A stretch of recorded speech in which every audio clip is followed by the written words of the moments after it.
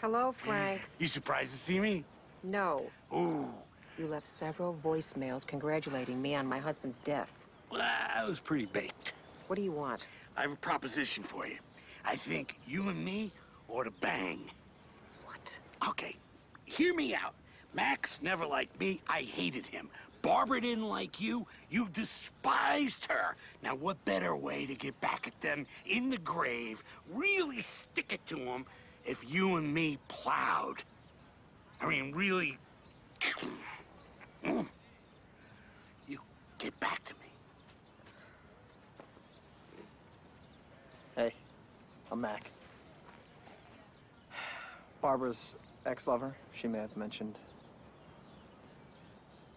You were gonna say something? No.